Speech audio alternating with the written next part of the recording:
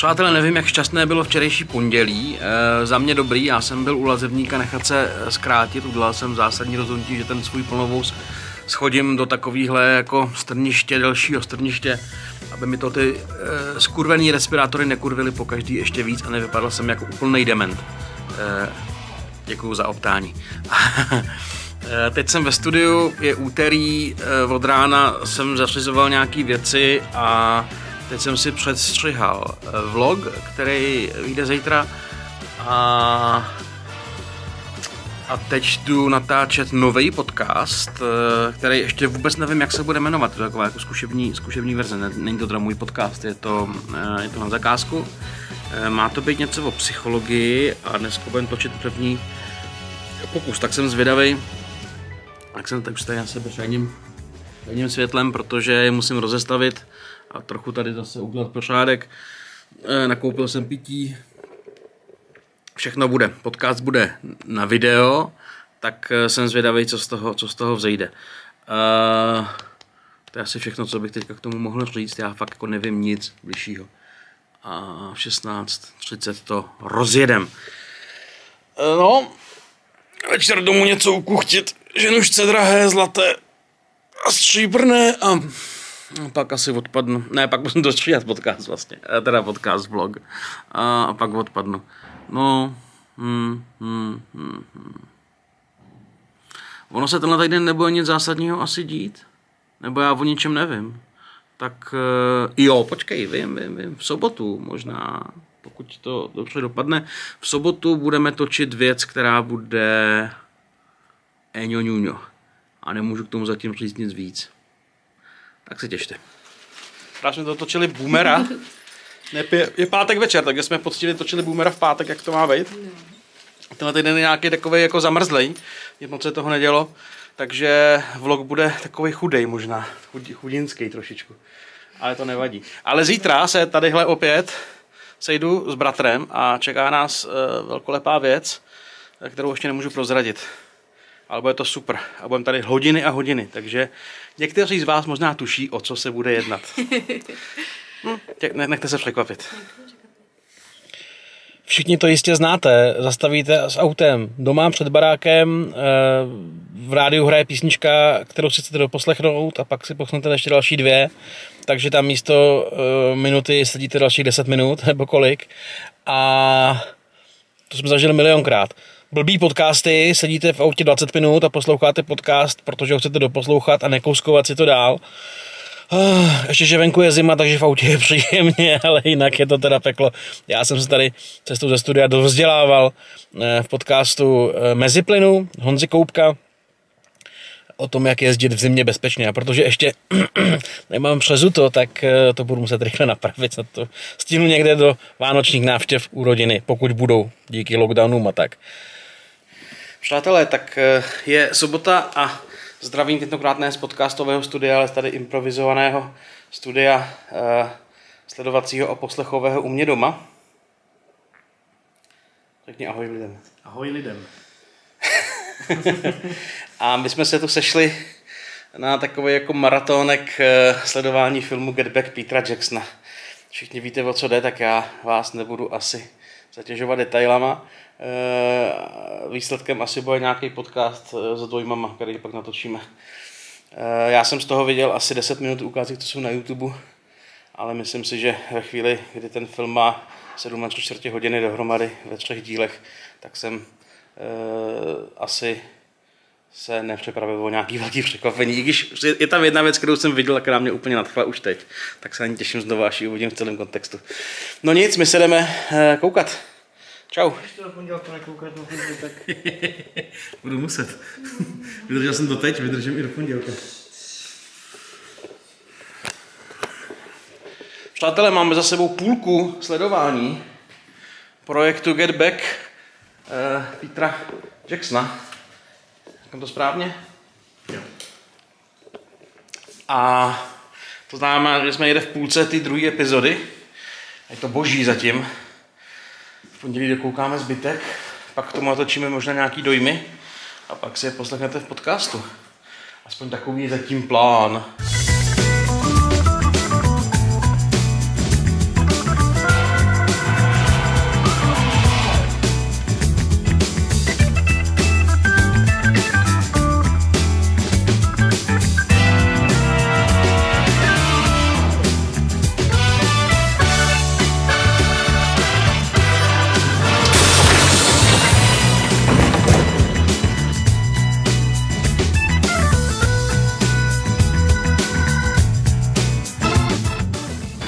Přátelé, jsme na Babě a nejdeme ani tam do Kološopu, ani tady do Alberta,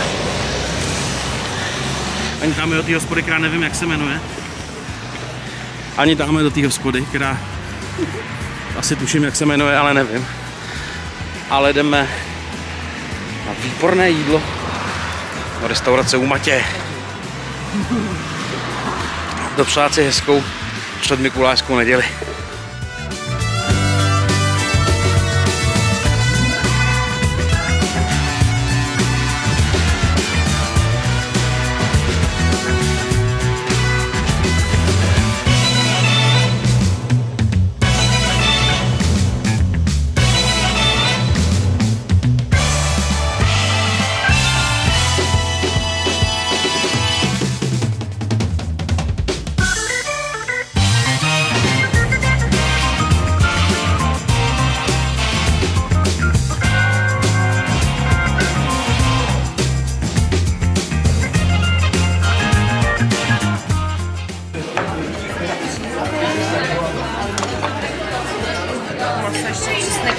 Smetana a žemlový křen. Díky moc. Vypadá to hrozně dobře. To tvoje taky moc pěkně. Tak už můžeš jíst, nemusí na mě čekat.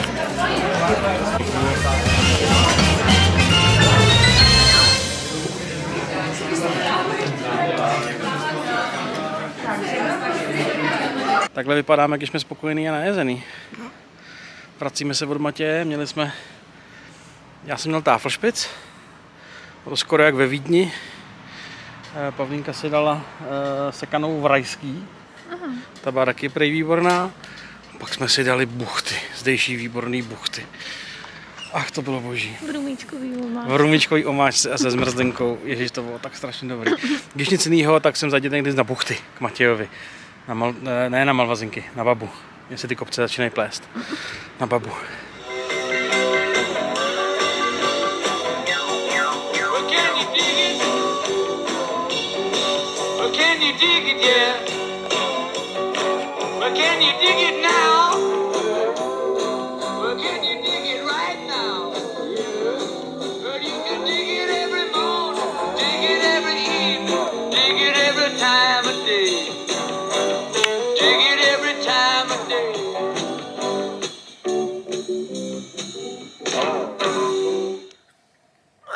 Tak je pondělí a my máme za sebou druhou část Get Back. A čeká nás třetí část Get Back. Která je nejkratší ku podivu, jestli se nepletu. Že to máme skoro sebou. Ale je to super.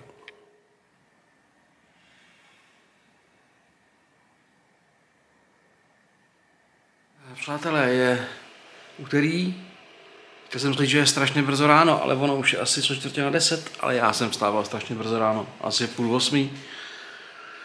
A šel jsem koupit chlebíčky, šel jsem koupit HDMI kabel, který nakonec nepotřebuju, protože zde je erární, ale já jsem svůj někde potratil a já teda jako miluju nakupování různých drobných gadgetů a blbůstek eh, a odůvodňovat se to, tím, že to potřebuju k práci. Eh, Bohužel jako z HDMI kabelu nejsem tak odvařený jako ze spousty jiných hraček. Eh, No a jsem tady v baru Behind the Curtain na Žižkově a od desíti budu školit lidi, jak se dostat do médií se svými příběhy, osudy, produkty, službami a tak. Ah. Kdyby mě to nebavilo a kdyby to neneslo prachy, tak by mi to vstávání strašně vadilo. Ono mi to vstávání trošku vadí i tak, ale jinak dobrý. Eh, tak se těším.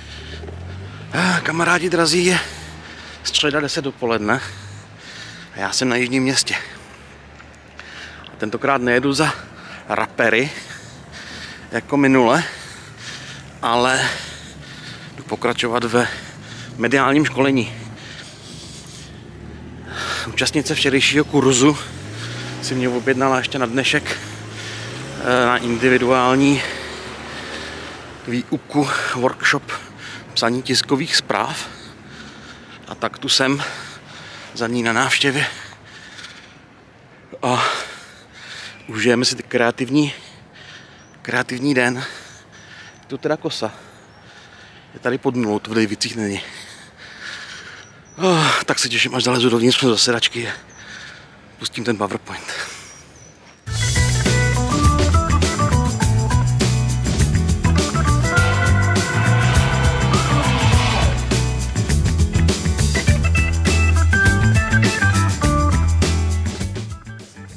Přátelé, snídali jsme čepice po natáčení, že to nás takovýhle bordel krásný pracovní.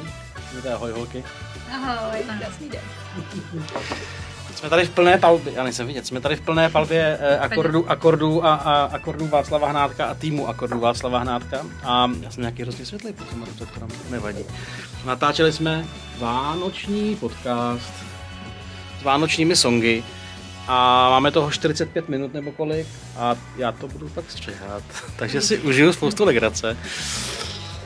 A, a to je asi vše v tuhle chvíli.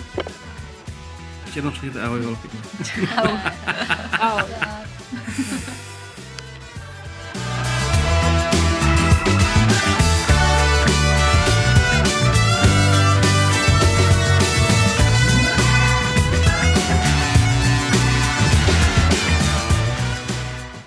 Tak já děkuji Petrovi, že jsme mohli tady využít toto místo nejenom pro všechny minulé aktivity a budoucí, ale i pro ten dnešek.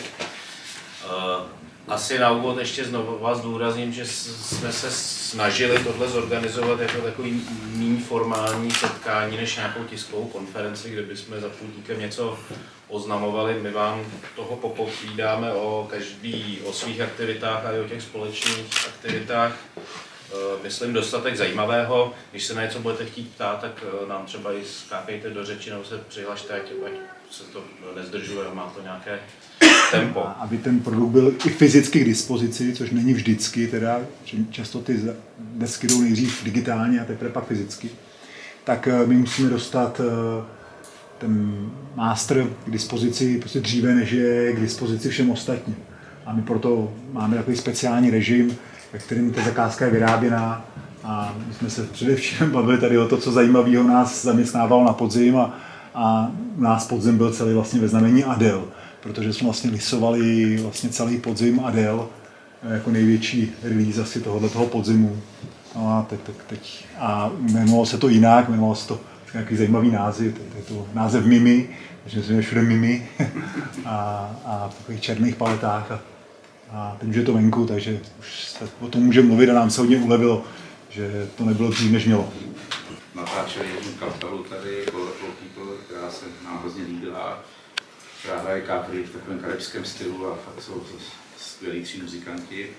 Tak jsem chtěl udělat takovou bezvádnou nahrávku referenční a kterou jsme zaznamenali do pěti nahráli a, a já jsem si posle, jsem pořád zkoumal, kdo, by, kdo je ten prostě, kde je ten, strůjcem toho nejlepšího zvuku, co jsem kdy za poslední léta slyšel. To je druhá deska, jedna deska naspět od ten nejnovější myšík. A Pavel přišel, podíval se do garáže, řekl, no tak nějak to můžeme zkusit, prostě pohlídal to, aby se ten zvuk nabral prostě s svýma vědomostma, zkušenostma, mikrofonama, krabičkama, přístrojama a pak prostě si to podnesl všechno do tu nahrávku, prostě si do Sona, kde ji zmasteroval, zmixoval a potom asi za měsíc mě říkal, že už to má. Tak jsem říkal, fajn, Pavle, prosím tě, mohl bys to vypálit na sedečku, já jsem tak, já si to posekl na ten postroj, jak jsem zvyklý v tom přístroji na to CDčku a to tady té místnosti dál je vyřívaná podlaha, tak jsme si tam lehli a hodinu jsme leželi a poslouchali jsme tu nahrávku a já jsem byl naprosto v šoku, jak skvělou nahrávku Pavel dokázal udělat. Takže tak jsme se zpřátelili, pak to šlo rychle, naštěstí ne z kopce, ale nahoru a vlastně tímto bych možná mohl prozradit to, že jsme se dohodli na větší spolupráci a že nějakým způsobem vznikla společnost, eh, která bude mít eh, jako doupě Sonos něco společného dohromady.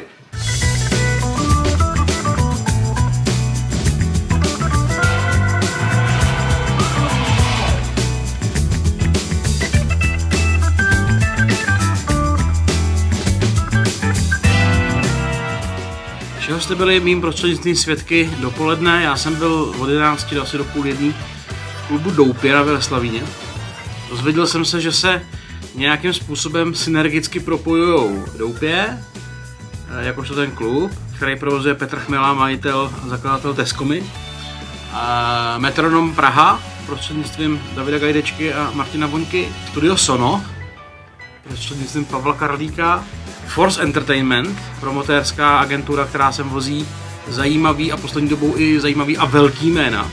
Primárně vždycky kvalita. Třeba ty jména nebudete znát, ale jsou to jako, vybírej si jako zajímavý, zajímavý uh, interprety a muzikanty.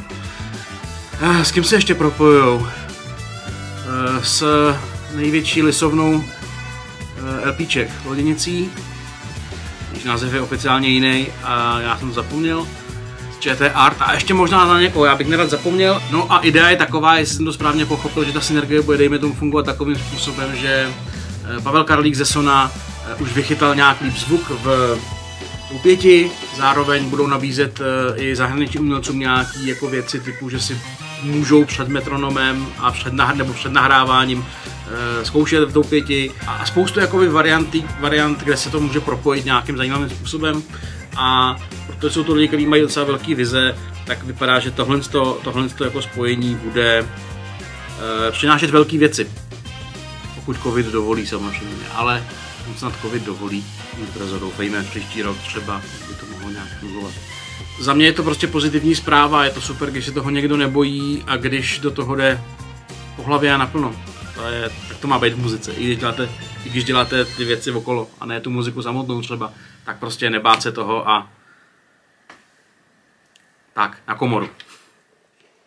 Mm, přátelé, vítejte v sobotu uh, ve studiu v Radosti.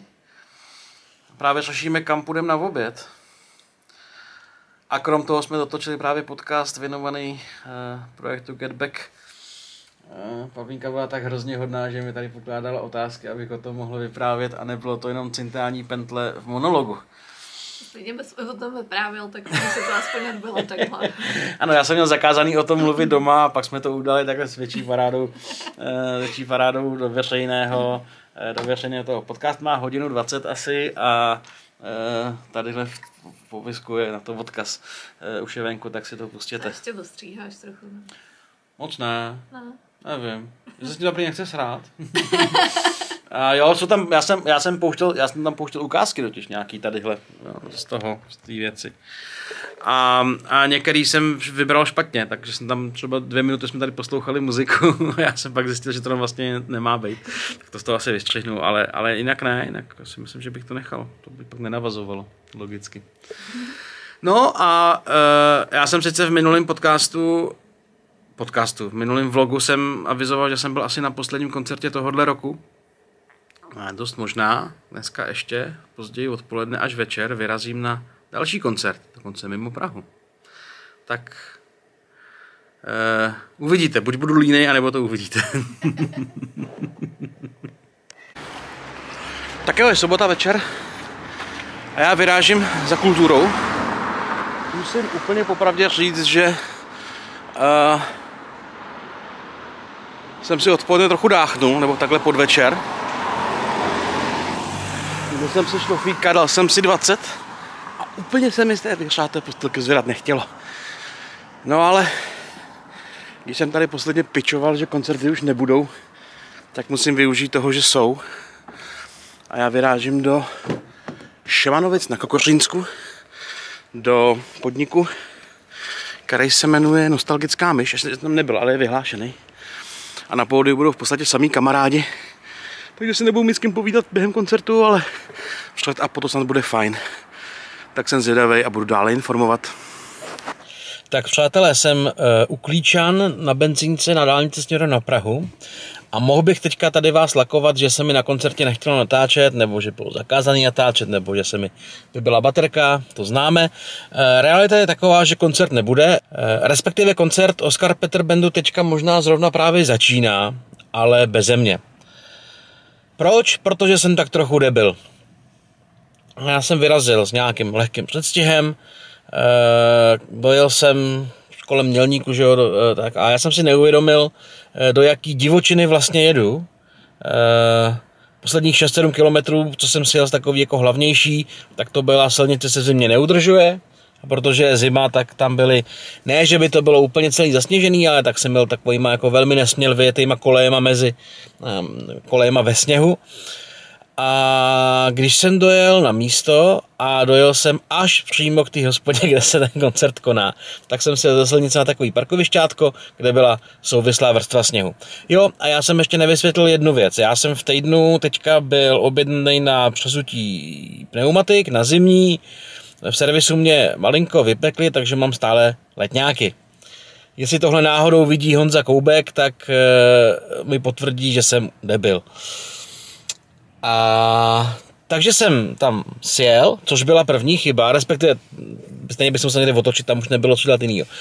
Možná jsem oknama viděl kamarády muzikanty, kteří se chystali na koncert, ale to jsem neměl čas sledovat. E, Tam jsem zjistil, že mi to podkluzuje tak, že se nehnu, takže jsem nějakým způsobem se tam pokusil otočit, respektive jsem dokouzla zpátky na tu, ne hlavní, na, na tu vesnickou silnici. E, Proti mělo nějaký auto, s čím jsme se museli pustit. E, No a co teď, že jo?